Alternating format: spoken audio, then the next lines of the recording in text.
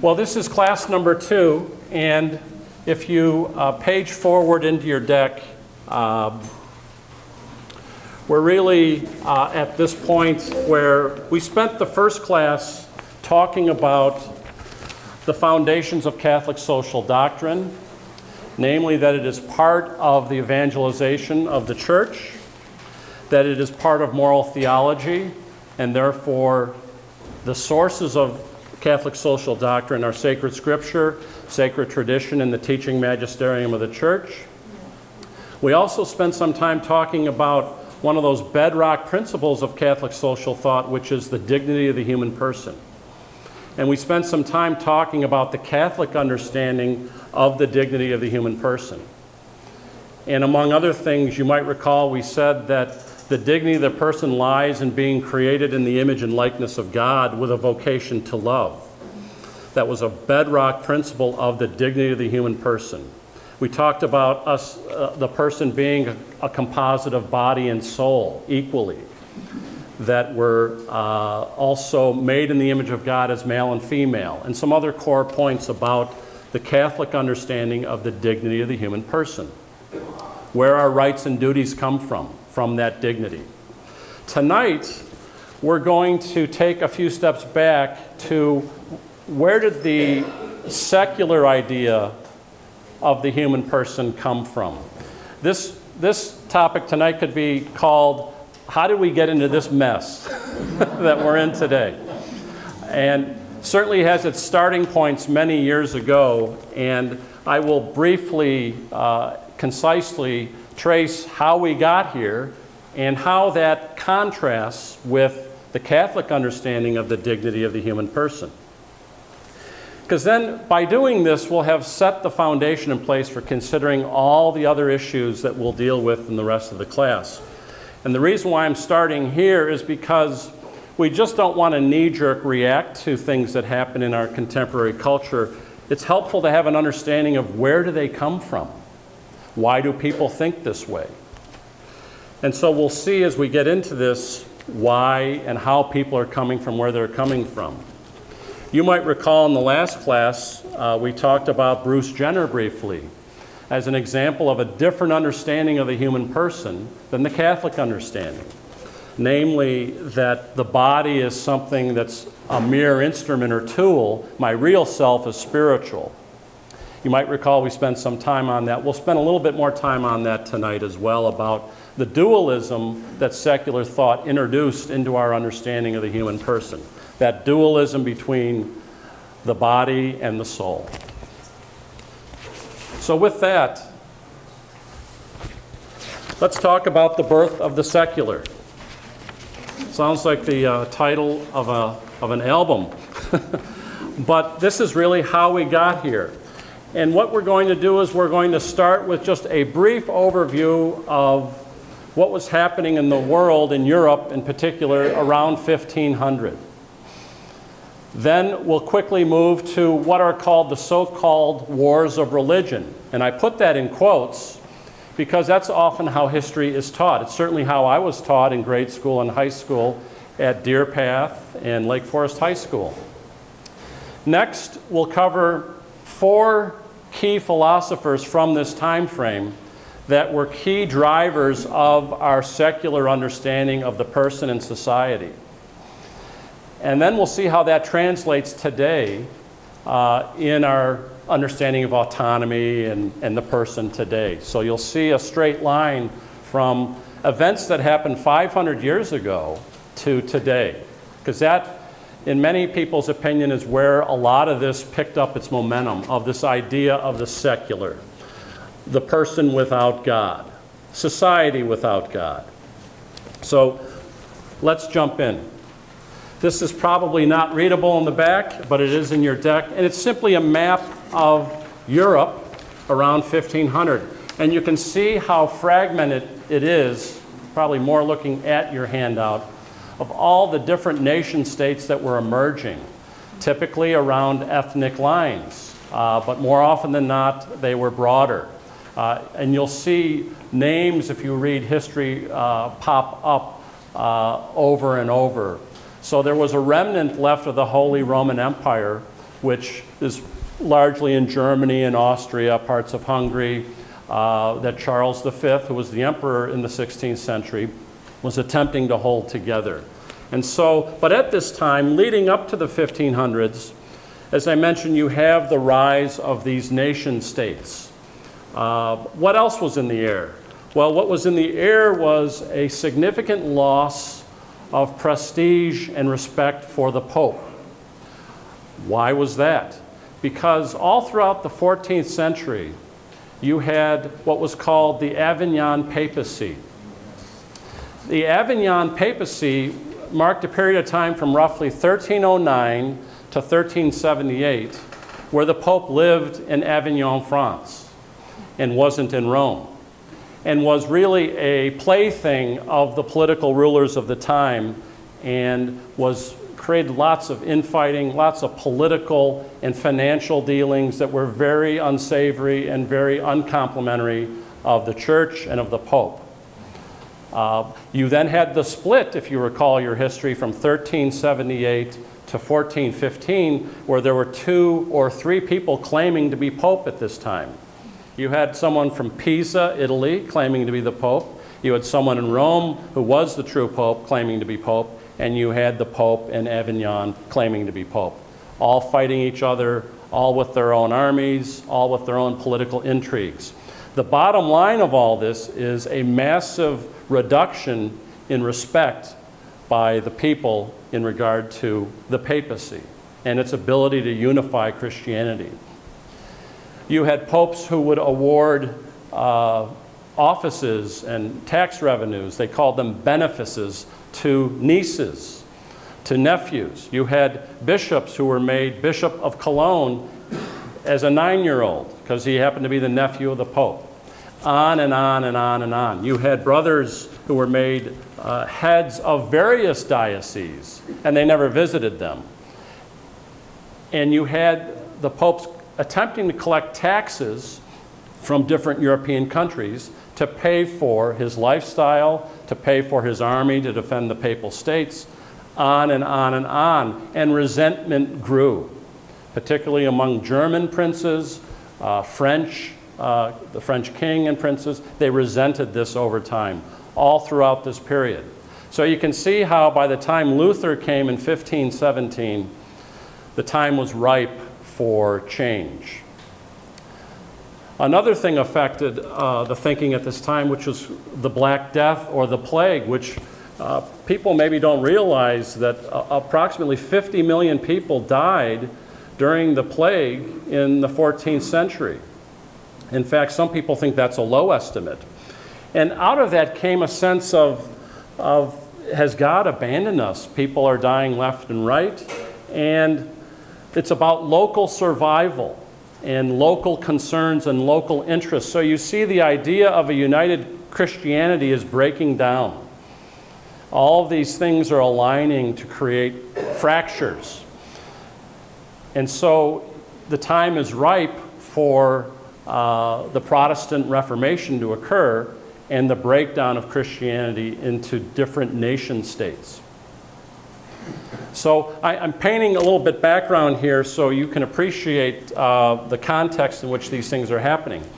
So when I was studying this period as a student in grade school and high school, and if you read history books back then, say by someone who was famous like Will Durant, uh, who wrote a large history of civilization, he called the, the medieval times the age of faith. What happened after that, the age of science, the Renaissance. And what's classically taught is that, well, you had the Catholic Church exerting way too much control over society, it was corrupt, and so the Protestant, the Protestant Reformation was a corrective to that. It was a way of, of responding to the, uh, the cruelty and the excesses of the Catholic Church and the Pope in particular. And so, but what happened then is these countries started converting to different Protestant faiths. Catholics and Protestants started fighting each other. We needed to get religion out of this so that people could live peacefully together. So we had these wars of religion that went on and on and on until finally cooler heads prevailed. And we decided that no, we should have a, a non-religious basis for society so that we don't kill each other over religion. And we can see traces of this thinking today that theocracies are suspects and evil and prone to violence and cruelty. So all we really need is to separate the combatants, agree that they should live in their own sandboxes, and let cooler heads prevail. Secular cooler heads prevail. And that's how history has classically been taught, at least that's how I was taught, and it's how most mainline textbooks or penguin classics on history of this time are taught. These are largely wars of religion, uh, and thank goodness we had secular rulers intervene to stop the violence and stop the killing. That's classically how this is taught. Uh, as people read more and more into this uh, and look, frankly, factually at what was happening at the time, uh, you see that that was really not that simple. Certainly, people killed each other over religious differences in this time. Uh, however, uh, the more interesting reading of this time, based upon the facts that, that I've read, are that this was as much, if not more, about the emergence of nation states asserting their own identity in an effort to avoid paying papal taxes, in order to confiscate church property, uh, and so forth, and less about wars of religion. And so if, if you go to the next page, uh, where I know this is probably not readable in the back, but it is in your handout. If, if I just go through this briefly with you, you'll see what I'm getting at. Starting with that the, the Catholic king in France made alliances, military alliances, with Muslim Turks to fight against the Holy Roman Emperor who was Charles V, a, a Catholic emperor. And so imagine uh, aligning with Ottoman Turks uh, to fight against another Catholic king. That happened in 1525. The troops of Charles V uh, sacked Rome in 1527 because the Pope and Charles V were in a dispute over lands. They were disputed papal lands in northern Italy that were under uh, controversy. So his troops got into Rome and sacked it. Uh, that the sack of Rome didn't just occur when the barbarians came through uh, in the in the end of the fourth, beginning of the fifth century. It it happened under the Holy Roman Emperor, who was a Catholic uh, emperor. You have what are called the, the, the Schmalkaldic Wars. The Schmalkaldic Wars uh, were driven by Charles V, the emperor, uh, finally fighting the German Protestant dukes between 1546 1547. He had sided with them up to that point against uh, the King of France. And, and it gets more interesting is that after uh, that time frame ended, Charles V ultimately uh, was fighting other Catholic dukes and princes who had aligned themselves with these Protestant dukes. So the Duke of Bavaria aligned with the Protestant dukes who were further north in fighting against what they viewed as the encroachment of Charles V. Uh, you could go on and on here uh, where you have uh, King Henry of France allying with Protestant uh, princes, uh, attacking the emperor's forces in 1552. Uh, you had, if you fast forward the tape, Cardinal Richelieu, who was in France, uh, a senior advisor to the King of France, aligning with Protestant Sweden.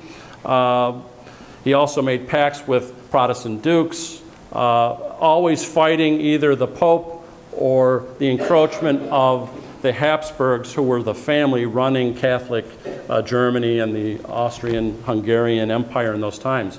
So it's, it's not so simple now, is it? it it's not exactly uh, a simple Protestants fighting Catholics any longer. Uh, one of my favorites is that uh, Catholic Spain attacked Trier, which is just east of uh, Luxembourg, modern-day Luxembourg, and kidnapped the Catholic archbishop and then subsequently, Catholic France declared war on Catholic Spain. They were fighting over the land there.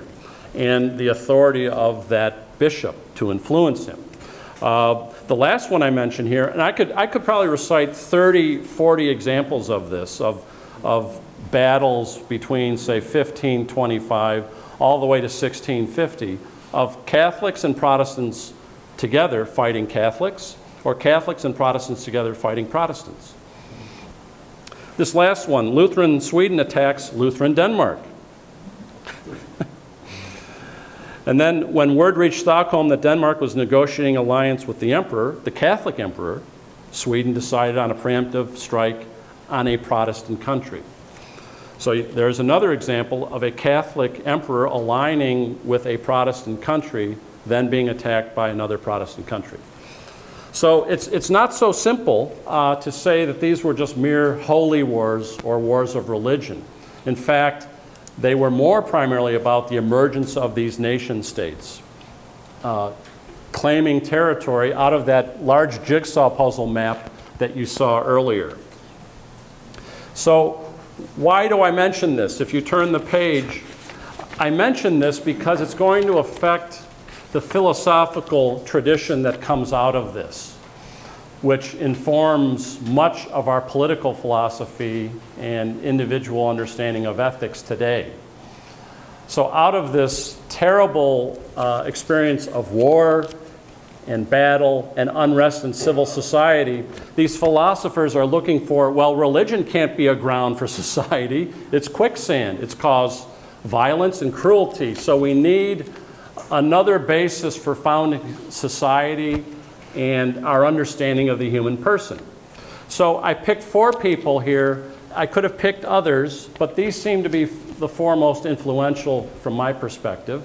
Uh, Jean-Jacques Rousseau could have been another one that was on this list, but I had to fit it within the bounds of our time. I could have picked someone like Immanuel Kant as well. Uh, but these four seem to be drivers, and so we'll spend just a few moments on each one of them uh, to understand where this came from in terms of how we got to where we are today. So the first one is Francis Bacon, uh, who is in many ways, if you, if you move forward in the deck, uh, attributed a kind of uh, authorship of the modern scientific method. Certainly, people were doing science long before the 16th century and 17th century. However, he's been, to some extent, given a certain preeminence in fathering, in the modern period, the scientific method. And specifically, he placed a greater emphasis on what I call inductive reasoning and experimentation. What do I mean by that? Observation is gaining a greater prominence in science than it ever had before, where it was more philosophical or more mathematical or geometrical. So his emphasis was we should really measure things and form conclusions from individual measurements. And the, and the example I give here is if we wanted to establish at what temperature does water freeze at, we would take a series of measurements and confirm that it's 32 degrees Fahrenheit. That's a form of inductive reasoning. Sample, sample, sample, sample, general conclusion from my sample. That's inductive reasoning. That sounds obvious to us today, but it wasn't so obvious back then in, from a scientific standpoint. The big thing he did is that he eliminated what I call purpose from nature, from a scientific standpoint. What do I mean by that? Purpose in nature, classically understood, was a cause in scholastic philosophy. So you've sometimes heard the word teleology or purpose in nature. Uh, and what it really gets down to is that things act for an end. If I'm running and I'm jogging, I get warm, I start to perspire. Why do I perspire? Because my body is seeking to cool itself. It's acting in view of an end state of 98.6. When I cool down, I hopefully stop perspiring. That's teleology in nature. It's acting for an end. It achieves the end, the process stops. So that's what I mean by final cause or teleology. Scholastic philosophy talked about three other causes. A material cause, what are things made out of? The formal cause, which is the design of what things are made out of. And an efficient cause, what's causing it? So, for example, the architect or maybe the construction company is the efficient cause of the building. The concrete, the wood, the rubber, the glass in the building is the material cause of the building. The formal cause of the building is its design. Is it a one-story building? Is it a skyscraper? That's its design. Those are classically the four causes that scholastic philosophy talked about. Bacon removed final causality from nature. You might say, so what? the so what then is what's the objective basis now for ethics and morality? We'll get to that later. But the key contribution he makes to secularity is the destruction of final causes or teleology in nature, which means then that nature is a mechanism. It's I study A, which leads to B, which leads to C, which leads to D. And sure, I perspire to lower my body temperature, but that's just a, a linear causal chain. There's no purpose. There's no end state in mind that in any way gives any indication of intelligence. The last thing I'll say is this is one of Aquinas' proofs for the existence of God is purpose in nature is, a, is emblematic of intelligence. But this was all done away with with Bacon. So that's his, his contribution. If we move to Thomas Hobbes, and maybe some of you have heard Thomas Hobbes, heard of his name, here's a man who wrote a book called The Leviathan, which maybe you studied in high school or college. Uh, he lived during the brutal civil wars in England, where uh, you had the fights between Parliament and Charles I, who was king. And if you remember the movie Cromwell with uh, Alec Guinness and, and Richard Harris, who plays Cromwell, it doesn't turn out well for Charles I. He gets beheaded. so, uh, but you had this big fight going on, back and forth. Uh, uh, whole villages destroyed, the brutality of war on full display. And Thomas Hobbes is watching this and observing this.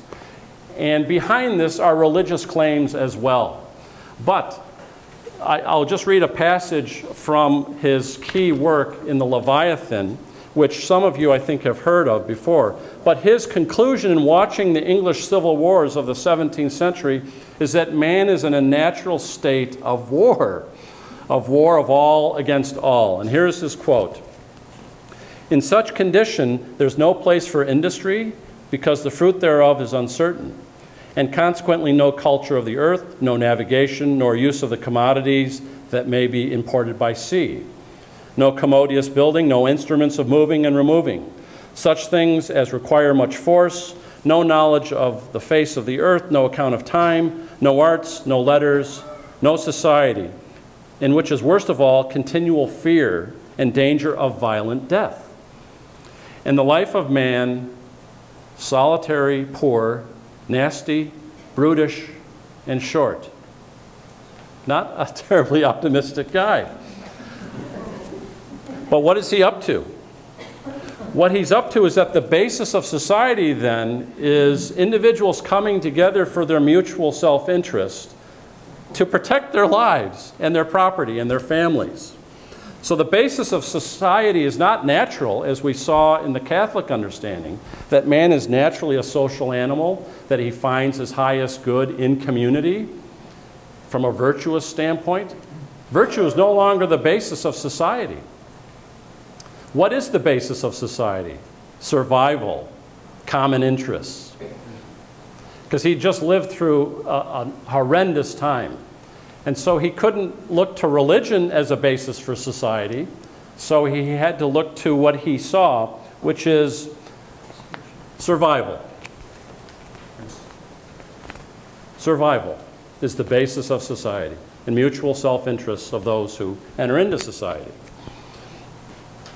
Continuing on this happy trail. I think a lot of you have heard of Rene Descartes. Uh, he was a genius of mathematics, gave us the Cartesian coordinates of x, y, if you have done any algebra or uh, other mathematics. He also, unfortunately, dabbled in philosophy. And of course, all of us probably know of him as I think, therefore I am. Cogito ergo sum. And that's his slogan. You might see that on a bumper sticker, probably not. Uh, but uh, that's what was his project. If you think about it, and he's considered the father of modern philosophy, what is the program for modern philosophy? It's to reestablish truth claims apart from appeals to religion or God or metaphysics, which is this mysterious thing from uh, scholastic philosophy of medieval times that no one understands. So we need to start over, blank sheet of paper. Does this sound familiar? Uh, we just went through a political bloodbath. We're now going to go through an intellectual bloodbath of the claims, the truth claims of reason need to have a certitude that they cannot get from religion or classical metaphysics or appeals to God. We must ground them on something certain that resembles mathematical reasoning. So, along the way, in his meditations, which is one of the names of his works, or his discourse on method and reason, uh, along the way of doing that, he reduces the human person in a what I call a dualistic way. The dualistic way is he begins to distinguish the person as a spiritual substance and a physical substance, a thinking thing and a bodily thing. So you see creeping in a, a dualism, that the human person is not this unity of body and soul, which is the Catholic understanding, but rather my true self is my spiritual, intellectual self. And the body is an appendage. It's, it's a, a leftover. It's a vehicle for me, for my true self, which is spiritual. So Gilbert Ryle, the great uh, 20th century philosopher, refers to this as a ghost in a machine. The human person is a ghost in a machine. And the machine is impersonal and not really truly human, or certainly not the highest part of the human person. You can see the implications of this that are coming. We touched on one in the last class when we were talking about Bruce Jenner. I'm not picking on Bruce Jenner, but it, he's a good example of what's happened. And I'm not rushing ahead so much, but Bruce Jenner felt that he was a woman. He spiritually, in his consciousness, felt that he was a woman or is a woman. Therefore, he felt entitled and was celebrated in the media to alter his physical nature, if you will. Why? Because his body wasn't reflecting his true self, which is spiritual. You see what's at work here? It's starting now. It's starting with Descartes. A departure from a Catholic understanding of the unity of the person, body, and soul. We'll see it in the sexual sins when we cover later, this same understanding coming through of what I do with my body doesn't touch my true self. So the implications of this will be very evident to you as we go, but it's, it's, it's entering in now. The, the ink is linking, is linking into the fabric of our understanding of the human person. John Locke, our last one. If you read political philosophy, John Locke is generally given a positive uh, portrayal. Uh, and to be as concise as I can be, uh, he also was in the crosshairs of Karl Marx in, in that wonderful work that no one reads, nor should they, das, uh, on Capital, Das Kapital. Uh, Karl Marx's mother once said he, he writes a lot about capital. I wish he'd go out and earn some. but John Locke, uh, British uh, political philosopher, and he was influenced by Hobbes but realized that The soup that Hobbes created was too thin to justify society and the rights of the human person.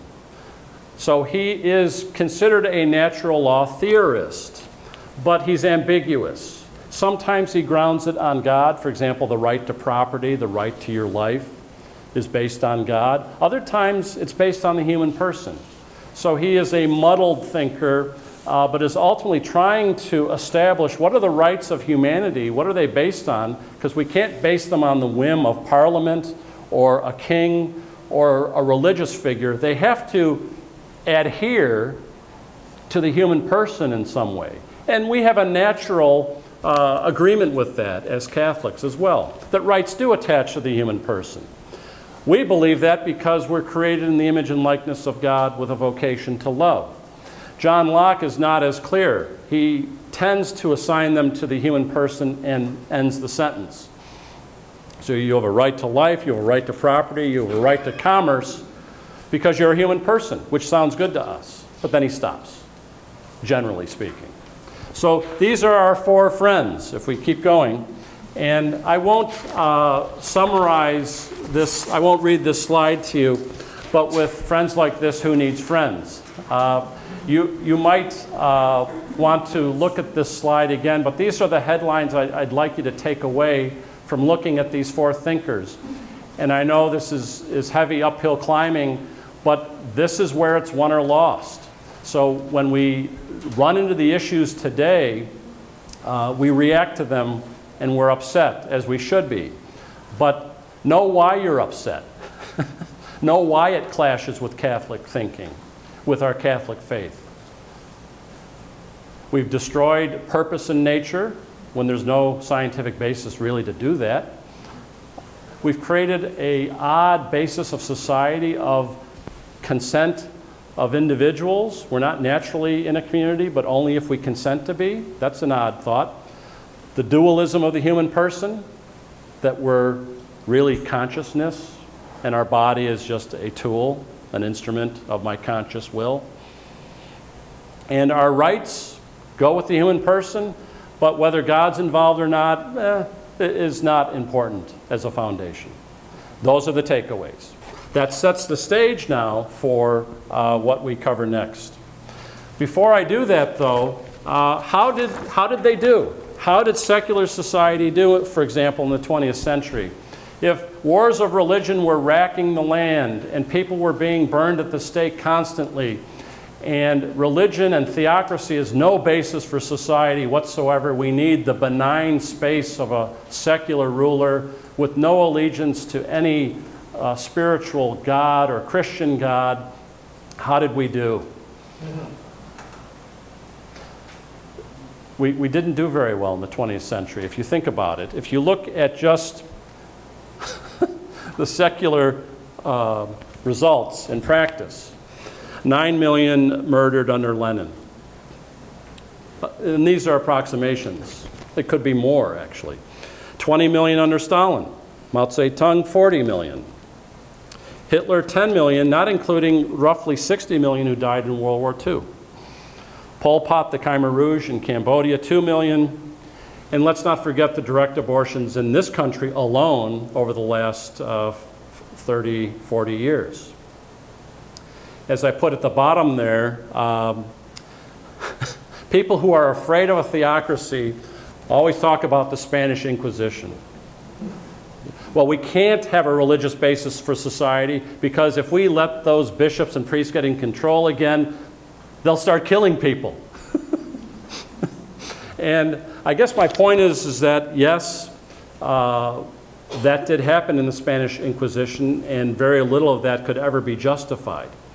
Uh, however, uh, if you look at the, the body count, uh, the total dead in the Spanish Inquisition over the 250 year period, as I put there almost tongue in cheek, is basically equal to any given day in a Soviet bloc country in the 30s or the daily carnage of an abortion mill in this country. So this is a, a straw man argument that people will make against religion having influence in the public square or in politics because it leads to all kinds of terrible results. when actually the truth is so much the other way that it's laughable that anyone even makes these statements in public. That this so called separation of church and state is supposed to be good for us. so, uh, what you have here is really, uh, we have to recognize there's no such thing as secular space. There are commitments to the good and the evil. And secularism always has an ideology behind it. There is no neutral, objective standpoint called secularism. Just ask the people of Eastern Europe what they think of a godless society, or the people today who are being killed by uh, how do they think of a godless society? So uh, that's the backdrop then for, if we fast forward to contemporary